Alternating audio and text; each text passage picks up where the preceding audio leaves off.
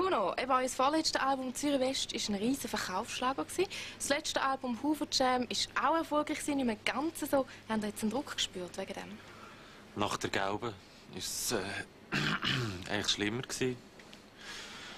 Und jetzt, nein, jetzt haben wir eigentlich äh, uns Zeit genommen. Wir haben zuerst ein Jahr überhaupt nichts gemacht, zusammen jeder für sich Sachen gemacht. Und dann sind mhm.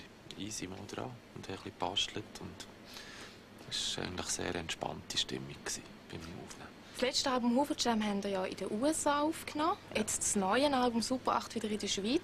Warum haben wir jetzt entschieden, wieder in der Schweiz das Album aufzunehmen? Also wir sind dann in den Staaten, weil wir mit dem Produzenten arbeiten wollten, wir ähm, bei, bei Hurt mit dem Steve Johnson und wir wollten mit dem eigentlich in der Schweiz arbeiten und er hat dann gesagt, er hat ein Studio dort und wir sollen doch dort herkommen. Wir haben eine Rechnung gefunden, das kommt gar nicht teurer. Mhm. Bis auf die Shoppingliste, die wir dann noch nicht gewusst haben. Und, äh, aber wir sind nur mit ihm arbeiten, für zu lernen, für zu schauen, wie machen die das dort und, und äh, wir sind nicht davon ausgegangen, dass wir jede Scheibe dort machen. Und wie siehst du jetzt die USA-Erfahrung im Nachhinein? Ja, wir haben viel gelernt dort. Wir haben, äh, uns hat Wunder genommen, gewisses Zeug, das er gemacht hat, hat einfach sehr gut getönt und wir haben gedacht, wie bringen die das her? Und äh, da haben wir, glaube ich, viel begriffen. Verrate ich aber nicht was. Das hat mir jetzt aber immer gut Wunder genommen. Nein, es ist einfach, das Amerika arbeiten, sie sind irgendwie kompromissloser als ich. Mir dünkt dann zum Arbeiten. Man hat, äh, man ist nicht so pingelig wie hier viel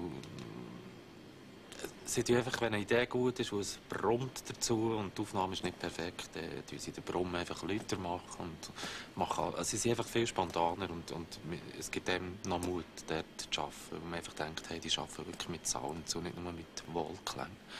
Und das hat mir dann vor allem gefallen. Du hast vorhin gesagt, ihr habt euch Zeit für das neue Album. Wir haben ein bisschen eigene Sachen gemacht, die ganze Band. Und du bist viel reisen. Beneide dich darum. Wie viel spürt man jetzt von diesen Reisen und von diesen eigenen Sachen, die ihr gemacht habt im neuen Album? Ja, ich bin ja viel mit meinem Kopf reisen eigentlich. Also, äh, schlussendlich, äh, die Songs von neuen Scheiben sind, äh, beschreiben eigentlich eine kleine Welt. Ja, viel Beobachtung, aber es ist viel Zeug in meiner nächsten Umgebung, bei mir daheim in meinem Quartier. Also die kleine Welt vom Kuno Lauener? Ja, ein bisschen davon, ja. Und wie sieht denn die aus? Die Songs hören, das, was ich auch bei den Songs sage, ist der Bit, den ich den Preis gebe von dieser Welt. Und der ist dort drauf. Im Moment befasst ihr euch natürlich mit den neuen Songs, wenn ihr jetzt auf Tournee geht und alles. Wie ist es für dich, wenn du eben alte Songs von euch anhörst? Ja, also gerade so mit Live-Aufnahmen habe ich nicht so ein Problem. Das sind Momentaufnahmen. Und dann hat es CDs, wo es halt Songs drauf hat, wo nach einer Zeit denkst, hm, hätte man anders können machen, hätte man besser können machen oder so. Aber schlussendlich CD, jede CD dokumentiert eigentlich eine Zeit, wo wir uns damals zur jeweiligen Zeit halt drin befunden haben und äh, schlussendlich früher sind wir auch weniger gut Schlag gekommen mit, mit der Studioatmosphäre, mit dem Arbeiten dort. Wir haben da sehr viel dazugelernt. Ich glaube, heutzutage schaffen wir das echt besser, dort wirklich äh, eine Vision zu halt umsetzen im Studio. Ja, und um, umgesetzt haben wir es jetzt eben auf Super 8, der neue CD von Zürich West. Es hat sehr gute Kritiken bekommen in den Ehrlich? Medien. Ja, hast du nicht gelesen? Oh, Aber was mir aufgefallen ist, überall heisst äh, Zürich West singt nur noch über... Schlimme Fälle. Schlimme Fälle. Zürich West singt nur noch über Sex. Hast du dich verwundert, dass jetzt das zu dem Thema geworden ist? Ja, so über Fußball singen oder ich weiß auch nicht. Nein, mir durch sehr einseitig Berichterstattung von Schweizer Medien. Mir es geht nicht nur über Sex. Also es geht nicht nur um Sex. Es geht um mein Leben, nicht nur um Sex. Ja, es hat ein paar Songs, die halt diese Themen auch äh, anschneiden, weil das ja nicht unwichtige Themen sind, wo man darüber reden kann, singen, weiss ich was. Aber habt es nicht bewusst gemacht, weil das halt etwas ist, das zieht? Nein, das sind wirklich Sachen, die mich halt auch bewegen und die ich beobachte oder selber zum Teil erlebe oder einfach Reflexionen. Und ich denke mir aber viel weniger, was...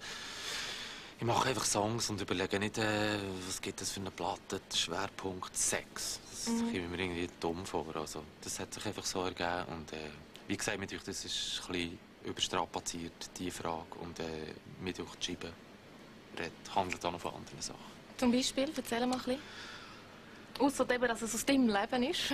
es hat Songs, die ganz generell einfach über ja, Situationen aus meinem Leben oder aus dem Leben von Leuten, die ich gut kenne oder Storys, die ich umgesetzt habe, die ich aus einem Buch habe oder weiss ich mhm. was. Es hat, äh, klar hat es viele Beziehungssachen drin, aber ich finde es eine gute Art, Sachen zu beobachten. Man sehe ich viel und ich glaube, ich kann das am besten über solche Szenarien kreieren in einem Song. Aber der Sex wird zwischen erwähnt, aber das ist nicht der Aufhänger. Und es ist nicht alles autobiografisch in dem Fall? Ist es nicht. Nicht, also, man kann nicht alles aus dir herauslesen, ja. in Fall, wenn man es Album los. Kommt noch eine allgemeine Frage. Es ist ja jetzt im Moment ein unheimliches Getue in der Schweizer Musikszene. Vor ein paar Jahren sind ihr so ein fast die einsamen Vorreiter gewesen. Jetzt gibt es den Gölle, es gibt Kisha, es gibt neue junge Bands wie die Lovebugs oder Subsonic. Wie dünnt ihr das als alte Hase, ja, und Schlusszeichen beobachten? Also ich finde es eigentlich sehr beflügelnd, weil wir haben früher immer gesagt, ja, die Schweizer Musik findet zu wenig Beachtung und, und im Moment ist es ja vorhin in den Charts, dass sich die Schweizer fast auf den Füßen. Mhm. Und ich finde das eigentlich mal, früher ist es in anderen Ländern hat man das immer gesehen, dass die Einheimischen eigentlich vorhin in den Charts sind und das war in der Schweiz lange nicht so. Gewesen. Aus was für Gründen immer, aber ich finde es eine gute Entwicklung. Ist das für euch auch Konkurrenz, die ihr spürt, dass jetzt so viele Schweizer gegen Führer drücken? Das gesehen, die Scheibe kommt jetzt dann und äh, das sehen wir dann. Wir werden schauen und wir sind überrascht, dann, je nachdem, wie es rauskommt. Danke vielmals, dass du da bist. Hier nochmal die CD, Super 8. Und Kuno Launer war bei uns und geht jetzt natürlich auch nicht, ohne dass wir noch ein Lied zeigen, wo ein Clip dazu entstanden ist, zu einem Song ab dieser CD. Das sind Zürich West mit Echo.